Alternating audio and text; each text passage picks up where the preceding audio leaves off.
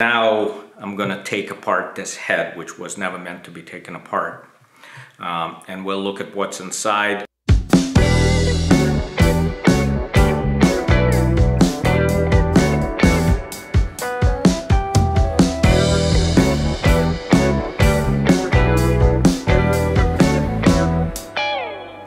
This is a video about this historic uh, curiosity antique vintage item, a Coats uh, M76 micro precision wheel balancing system. That is what um, they called it in their manual.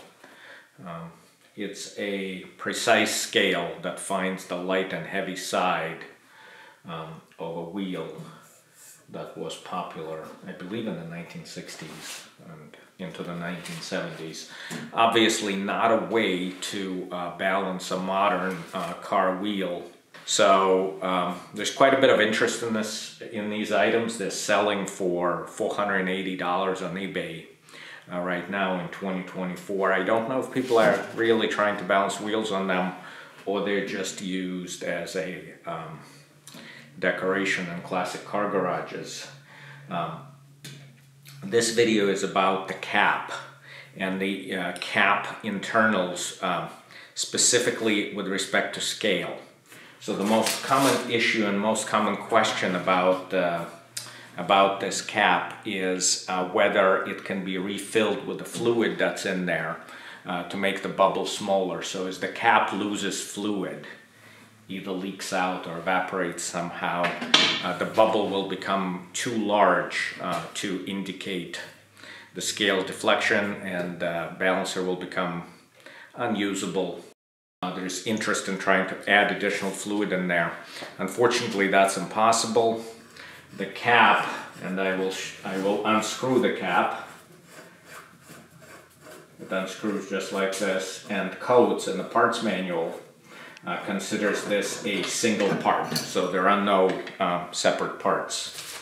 Uh, I'm going to take it apart later in this video, but um, this cap is assembled from above with respect to the uh, fluid and the bubble, and it's assembled from below um, with respect to the scale mechanism. In between there is steel, so you can't get through from below to um, refill, uh, your only option is to buy one of those stick, uh, stick on uh, bubble levels which are easily available uh, in approximately this diameter and glue it on top here and it will work. The wheel on the Coats bubble balancer and it's a little bit out of balance and uh, actually this is a dynamically balanced wheel on a good computerized machine uh, at a Subaru dealer.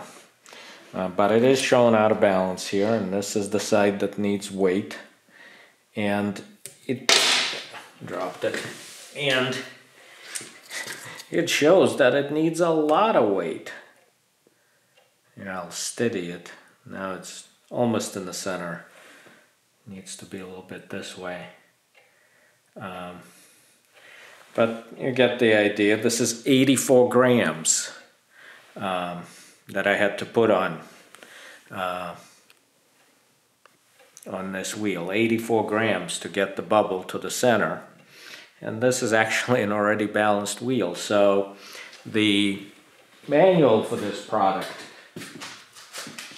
uh, which is um, surprisingly complicated um, refers to this device as a sensitive scale uh, but I'm actually not completely sure that this is a very sensitive scale. Um, and um, I am planning to do some work to this head. If you'd like to read about the Coats M76 balancer, I recommend uh, this website, autorestorer.com. It had an article about this about 10 years ago uh, with some good pictures. Um, this mostly dealt with the um, bubble uh, leakage issue, uh, but you'll be able to see inside the cap just like on this video, although I will show uh, all the parts here uh, shortly. If you look at the underside of the cap, you'll see that there's a washer with a serial number stamped on it and it's held in and behind it the whole mechanism is uh, held in by these uh, pinch marks. Uh, there's four of them around the circumference that were made by some kind of press and this is how this was uh, permanently assembled. So we'd need to um, cut those pinch marks to uh, pull the mechanism out. All right, we're at the lathe. The cap of the bubble balancer of the Coats um, bubble wheel balancing machine is here. I'm holding it with these copper um, shims to uh, protect it. This boring bar that I'm pointing at is a high-speed steel boring bar that's small enough, it's skinny enough to fit into this space. And um, I'm just gonna reach in there and machine away um, this very small uh, thickness uh, that's been uh, pinched and distorted that holds uh, the washer.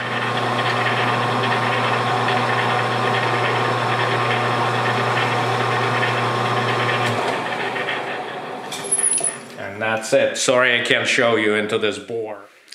Okay, so after I machined off the pinch marks or the pinch distortions that were made in there to hold this washer in, I tried to pull this pin, which I suspect is somehow mushroom shaped or it has some kind of a hardware on the end that makes it mushroom shaped.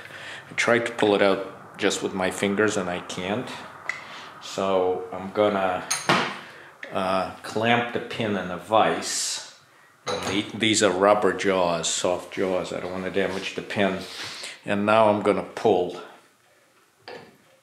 Yes. Yes, yes, yes. Oh, there's a ball in there. Like a ball bearing ball.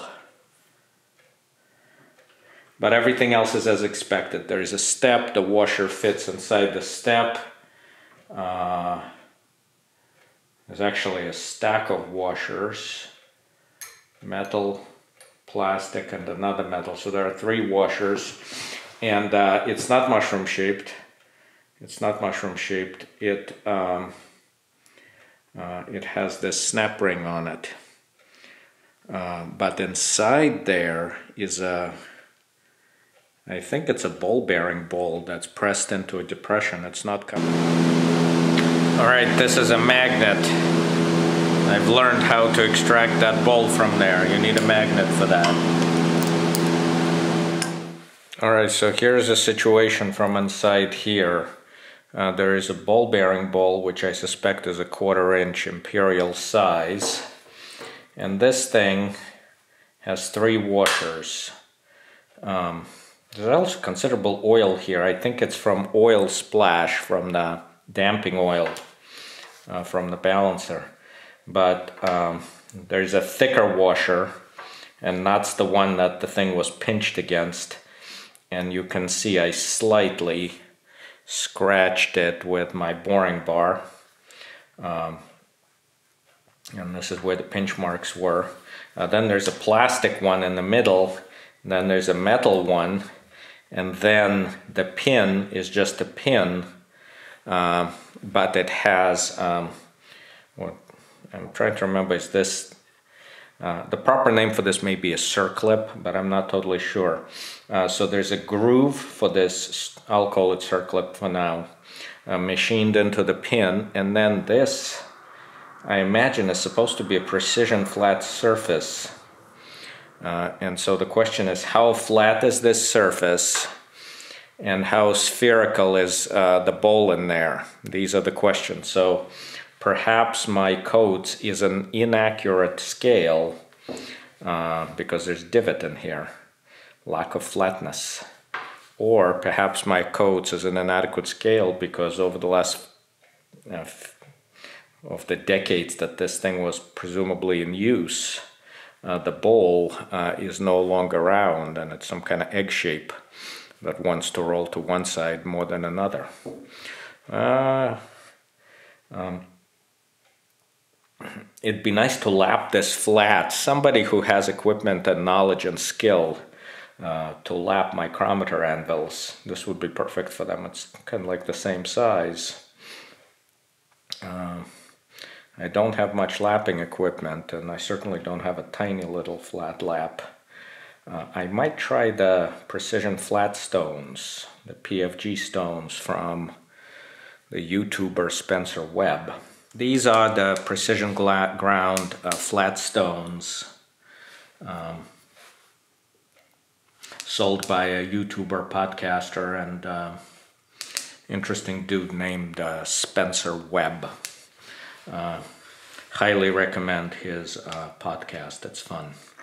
Um, this is the flattest thing I have. It's also an abrasive surface. So these are Norton stones that you can buy on, uh, on Amazon to uh, sharpen your axe and your pocket knife uh, that were put on um, a surface grinder by a precision machinist and ground with a diamond wheel. And so that's why it's the flattest um, thing I have.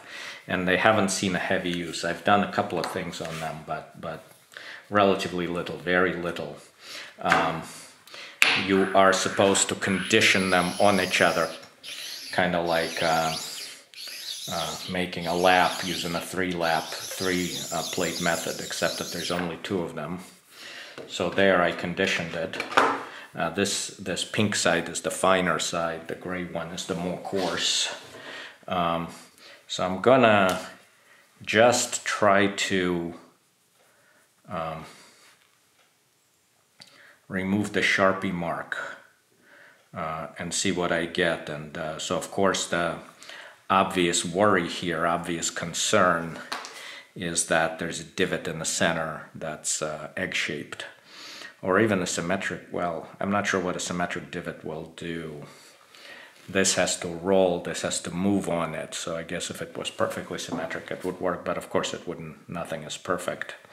So definitely not a lapping operation, but I guess it's a legitimate stoning operation, the way they stone things after they scrape them, for example.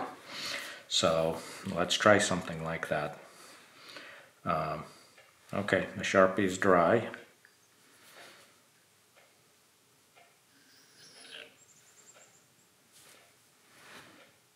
Mm, I think it's quite flat. I've been using this micrometer here to inspect these ball bearing bowls. And when I use the word inspect, I of course use it in air quotes, but I'm still blown away. Um, I cannot measure any inconsistency. I'm always getting this number. All right, so I cut away the pinch marks in there that hold uh, that stack of washers and, and this thing with its circlip. So when I put them back in with a new ball bearing ball and my um, sort of kind of like lapped uh, pin, um, how am I going to retain them? Well, the internal diameter of this bore is an imperial size of 1 and 5 sixteenths of an inch. Um, that's this bore on this, I believe it's we're working on the Coats uh, 76 uh, model wheel balancer and a um, 1 and 5 sixteenths inch internal um, retaining ring. This one is stainless is available on McMaster-Carr. So I need a groove for this ring. So this is a um, high-speed steel homemade, home ground um, internal um, grooving tool and I only need a shallow groove uh, so the ring doesn't fall out.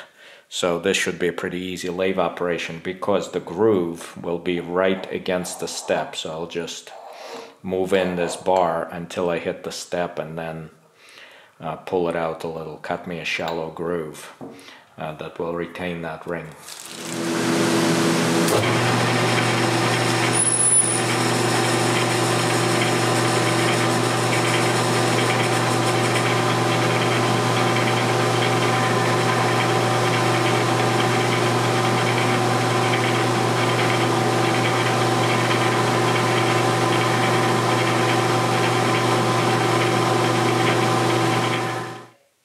So I'm ready to reassemble the the head of the Coats balancer with my new snap ring.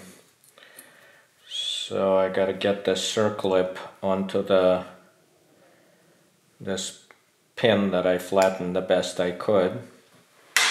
Okay, circlip's on. Uh, the brand new quarter inch ball bearing ball, which I measured to be impressively and remarkably round, is next. So that dropped just right in. And I think, yeah, it's hold, held in there by magnetic forces. I think magnetism is a plays a role in all this. So next is the pin. And then over the pin is the thinner washer. Looking, it's got it's got a line on it, so I think it must have gone this way. Alright, so that's the thinner washer. Then the plastic washer. Um, uh, then the thicker washer with the serial number out. What this, this number points out. And it fits in the groove there. Yep. And that's how it was before with just a few pinch marks. There was a pinch here and a pinch here, and there were three of them around it holding this inside.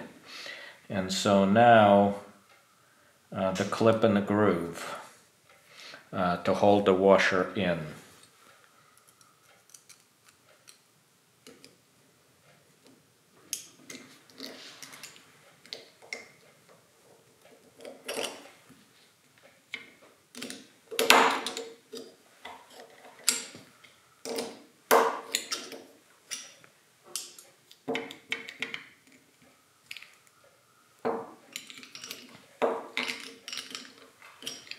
Yeah, so in. There is the circular clip. Um, the serial number is still readable. The clip is in the groove. This is not going to fall out. Um, so restored with a new ball bearing ball, whether that makes any difference is of course highly questionable. Well, I really enjoyed uh, taking apart the Coats and uh, seeing how it works, reading the manual, and um, taking apart the head and um, replacing the ball bearing bowl, trying to flatten and uh, almost lap uh, the top of the pin. But in the end, it did not make it a uh, better scale. Uh, it still required a lot of weight. Uh, to change deflection. And it's a static balancer anyway. It can't do um, dynamic balancing for modern high offset wheels. And um, after looking around, I ended up with this.